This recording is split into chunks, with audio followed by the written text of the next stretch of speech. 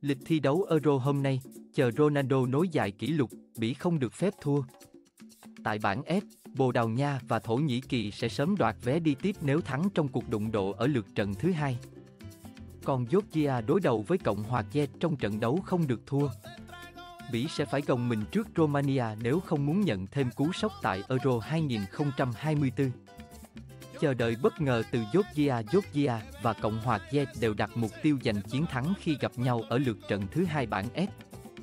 Euro 2024 diễn ra lúc 23 giờ ngày 22 tháng 6. Sau khi đều bị đánh bại trong trận mở màn, cả hai đều không thể để thua một lần nữa.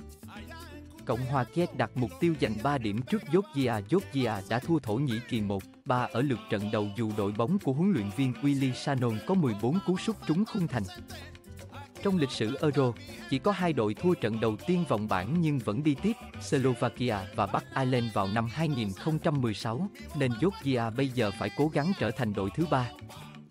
Trước khi gặp đội được đánh giá mạnh nhất bảng là Bồ Đào Nha trong lượt trận cuối, họ sẽ lại trông cậy Mikata và ngôi sao Vicha Kvaratskhelia để lấy cảm hứng chống lại Cộng hòa Czech. Đội cũng đã bị Bồ đánh bại trong trận mở màn. Là đội bóng được đánh giá yếu nhất Euro 2024 nhưng chỉ cần một điểm trước Cộng hòa Czech vẫn sẽ nuôi sống giấc mơ lọt vào vòng 16 đội.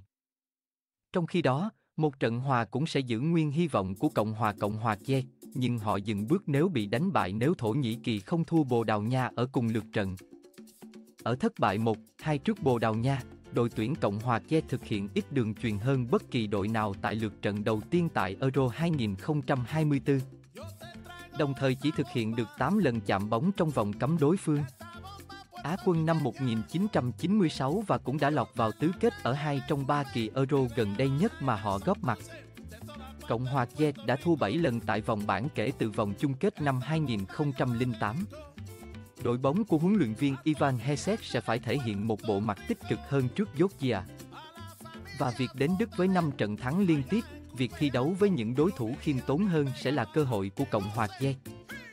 Bồ Đào Nha tiếp tục gặp thách thức để đảm bảo vị trí đầu bảng F và tiến tới vòng 16 đội của Euro 2024.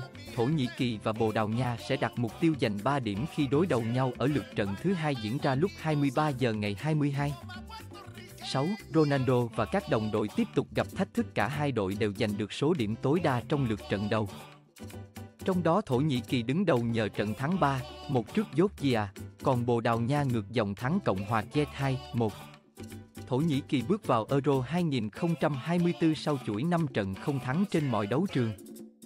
Nhưng họ đã có khởi đầu tại Đức đầy suôn sẻ. Tuy nhiên, đội bóng của huấn luyện viên Vincenzo Montella sẽ gặp thách thức lớn trước Bồ Đào Nha.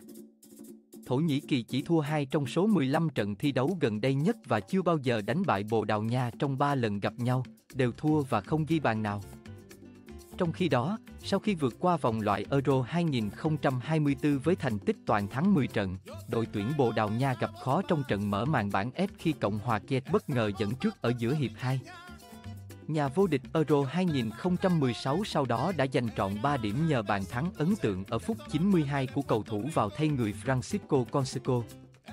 Cả Cristiano Ronaldo và Pepe đều phá kỷ lục tại Euro trong chiến thắng đáng nhớ trước Cộng hòa Czech và huấn luyện viên Roberto Martinez tỏ ra hài lòng với các học trò ở trận mở màn.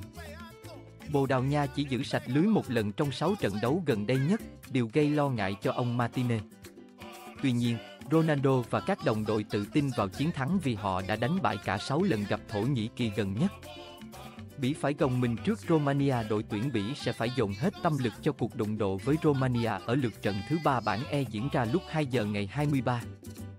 6. Toàn quân của huấn luyện viên Domenico Tedesco đã bất ngờ bị Slovakia đánh bại 0-1 trong trận mở màn, trong khi đội Romania thắng đậm Ukraine 3-0 và họ có thể sớm giành vé vào vòng 16 đội nếu có thêm chiến thắng trước Bỉ.